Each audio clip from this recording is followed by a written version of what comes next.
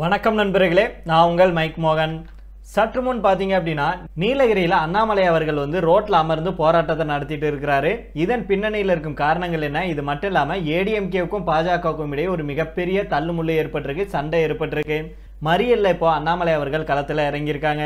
இதை பற்றிய கூடுதல் தகவலை தான் நம்ம இந்த வீடியோவில் தெரிஞ்சுக்க போகிறோம் இது மட்டும் இல்லாமல் அண்ணாமலை அவர்கள் வந்து பொங்கி எழுந்து விடாமல் இறங்கி அடிச்சிருக்கிறார் அப்படின்னு தான் நம்ம சொல்லணும். அந்த செய்தியை நம்ம இந்த வீடியோவில் தெரிஞ்சுக்க போகிறோம் அதுக்கு முன்னாடி நம்முடைய சேனலை சப்ஸ்கிரைப் பண்ணாமல் பார்க்குறீங்கன்னா சப்ஸ்கிரைப் பண்ணிட்டு பாருங்க. புதுசாக நம்முடைய வீடியோ பார்த்துட்டு இருக்கீங்கனாலும் சப்ஸ்கிரைப் பண்ணிட்டு சப்போர்ட் பண்ணுங்க. அதே போல் நம்முடைய ஃபேஸ்புக் பேஜையும் ஃபாலோ பண்ணிக்கோங்க. நீலகிரி நாடாளுமன்ற தொகுதியில் போட்டியிடும் பாஜக வேட்பாளரும் மத்திய அமைச்சருமான எல் முருகன் வேட்புமனு தாக்கல் செய்ய பேரணியாக சென்ற பாஜகவினர் மீது காவல்துறையினர் தடியடி நடத்தியதனால இப்ப பரபரப்பு ஏற்பட்டிருக்கு. தமிழகம் மற்றும் புதுச்சேரியில் வரும் ஏப்ரல் பத்தொன்பதாம் தேதி அன்னைக்கு ஒரே கட்டமாக நாடாளுமன்ற தேர்தல் நடைபெறுது. இதுக்கான வேட்புமனு தாக்கல் மார்ச் இருபதாம் தேதி தொடங்குச்சு. வேட்புமனு தாக்கல் செய்ய கடைசி நாள் மார்ச் இருபத்தி ஏழு ஆகும் மார்ச் இருபத்தி எட்டாம் தேதி வேட்பு மனுக்கள் மீதான பரிசீலனை நடைபெறும். அதுக்கப்புறமா வேட்புமனுக்களை திரும்ப பெற மார்ச் முப்பதாம் தேதி கடைசி நாளாகும். பதிவு செய்யப்பட்ட வாக்குகள் வரும் ஜூன் நாலாம் தேதி எண்ணப்பட்டு அன்னைக்கே முடிவுகள் அறிவிக்கப்படுது. நீலகிரி நாடாளுமன்ற தொகுதியை பொறுத்த வரைக்கும் திமுக சார்பில் ஆ. ராசா அதிமுக சார்பில் முன்னாள் சபாநாயகர் தனபால் மகன் லோகேஷ் தமிழ்ச்செல்வன் பாஜக சார்பில் மத்திய அமைச்சர் எல். முருகன் ஆகியோர் போட்டியிடுறாங்க. நீலகிரி நாடாளுமன்ற தொகுதியில் போட்டியிடும் மத்திய இணையமைச்சர் எல் முருகன் அவர்கள் வேட்புமனு தாக்கல் செய்வதற்காக நடைபெற்ற பேரணியை காவல்துறையினர் தடுத்து நிறுத்தி தாக்க முயற்சி செஞ்சனால உதகை மாவட்ட ஆட்சியர் அலுவலகம் செல்லும் தேசிய நெடுஞ்சாலையில பாஜகவுடைய மாநில தலைவர் அண்ணாமலை அவர்கள் தலைமையில சாலை மறியல் போராட்டத்தில் ஈடுபட்டிருக்காங்க. நீலகிரி நாடாளுமன்ற தொகுதியில் அதிமுகவினர் சார்பில் வேட்புமனு தாக்கல் செய்ய பேரணி செல்வதற்காக ஒதுக்கப்பட்ட நேரத்தில் காவல்துறையினர் பேரணி செல்ல அனுமதி மறுத்ததும் உரிய பாதுகாப்பு அளிக்காமல் காவல்துறை மற்றும் மாவட்ட நிர்வாகம் ஒருதலை பட்சமாக செயல்படுவதாக கூறி அதிமுகவுடைய மாவட்ட செயலாளர் கப்பச்சி வினோத் நாடாளுமன்ற தொகுதி வேட்பாளருடன் லோகேஷ் தமிழ்ச்செல்வன் மற்றும் அந்த கட்சியினருடன் மாவட்ட ஆட்சியர் அலுவலகம் செல்லும் உதகை கூடலூர் செல்லும் தேசிய நெடுஞ்சாலையில் சாலை மறியல் போராட்டத்தில் ஈடுபட்டிருக்காங்க. இதனால் சாலையுடைய இருபுறமும் வாகனங்கள் அணிவகுத்து நிற்கிறதுனால உதகை நகரில் கடும் போக்குவரத்து நெரிசல் ஏற்பட்டிருக்கு. நீலகிரி பாராளுமன்ற பாஜக வேட்பாளர் எல் முருகன் வேட்புமனு தாக்கல் செய்வதற்காக பாஜக தொண்டர்களோடு ஊர்வலமாக சென்று வேட்புமனு தாக்கல் செஞ்சார். அந்த நேரத்தில் கூட்டத்தை கட்டுப்படுத்த முடியாத காவல்துறை தடியடி நடத்தி கூட்டத்தை கலைச்சதுனால அங்கே பரபரப்பு ஏற்பட்டிருக்கு. தடியடியால் காயமுற்ற பாஜக தொண்டர்களுக்கு ஆறுதல் கூறி பேசிய பாஜக மாநில தலைவர் அண்ணாமலை அவர்கள் ஊட்டி எஸ்பி அவர்கள் பணியிடை நீக்கம் செய்யும் வரைக்கும் போராட்டம் தொடரும் அப்படின்னு சொல்லியிருக்கிறாரு. இது மட்டும் இல்லாமல் இந்த மோதலுக்கான காரணம் என்னன்னா அதாவது நீலகிரி லோக்சபா தொகுதியில் வேட்புமனு தாக்கல் செய்வதற்காக பாஜக மற்றும் அதிமுக தொண்டர்கள் வந்து ஒரே நேரத்தில் பெரும் எண்ணிக்கையில் ஒன்று திரண்டிருக்காங்க.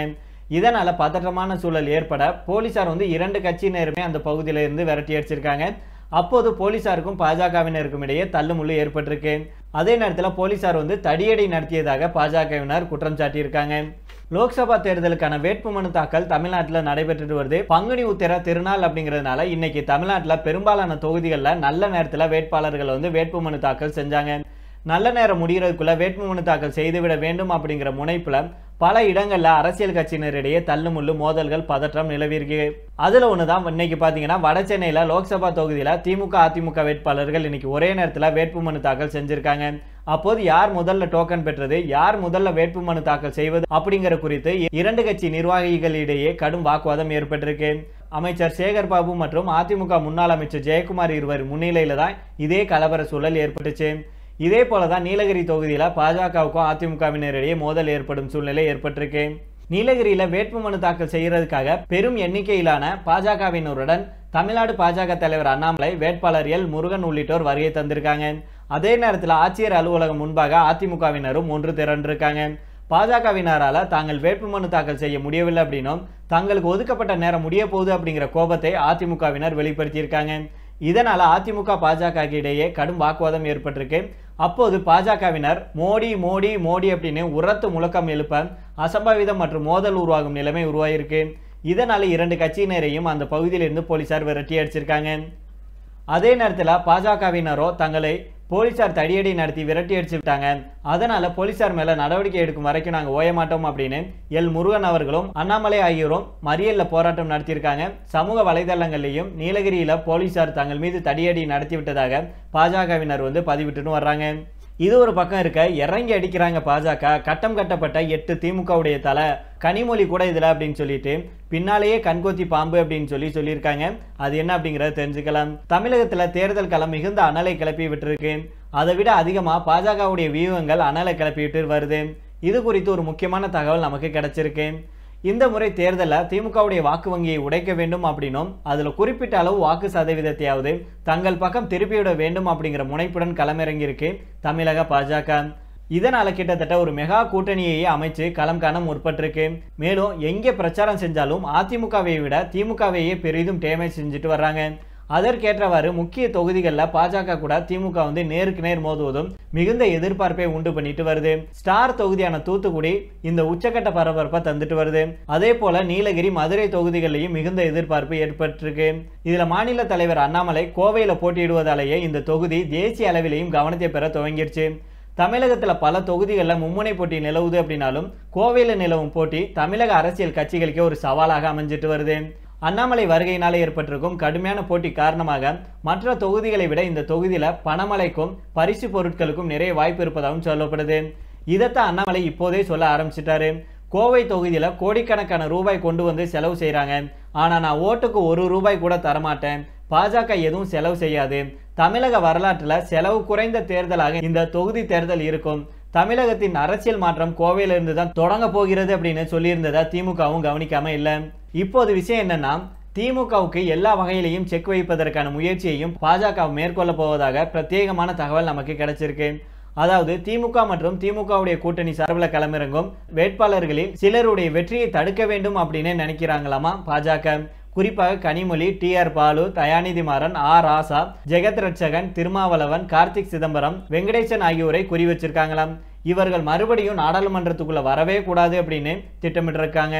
அதனால தான் இவர்களுடைய தொகுதியில் நடக்கும் பணம் பட்டுவாடா தேர்தல் செலவுகள் உள்ளிட்டவற்றை கண்கொத்தி பாம்பாக கவனிக்க வேண்டும் அப்படின்னு அதிகாரிகளுக்கு உத்தரவிடப்பட்டிருக்கு.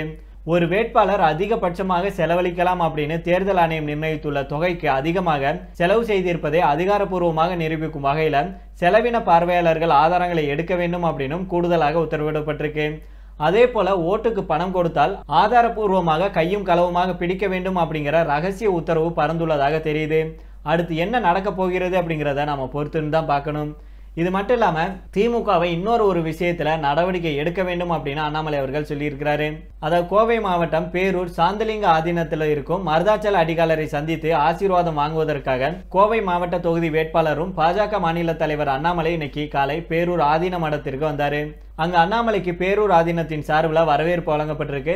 அப்போது ஆதீன பீடத்தில் அமர்ந்திருந்த பேரூர் ஆதீனம் மருதாச்சில அடிகளார் சிவப்பதிகம் பாடி அண்ணாமலைக்கு பொன்னாடை அணிவித்தும் மலர் கிரீடம் அணிவித்தும் நெற்றியில திருநீர் பூசி ஆசீர்வாதங்களை வழங்கினாரு.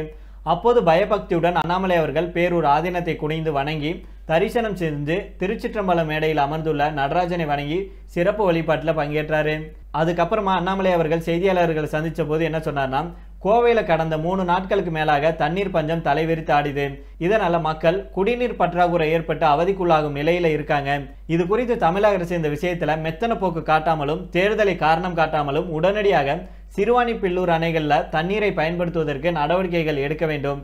மேலும் இது தவிர அரசியல் தாண்டி சிறுவாணி தண்ணீரை பெறுவதற்கு கேரள அரசு கூட திமுக அரசு முயற்சி செய்ய வேண்டும் அப்படின்னு சொல்லியிருக்கிறாரு.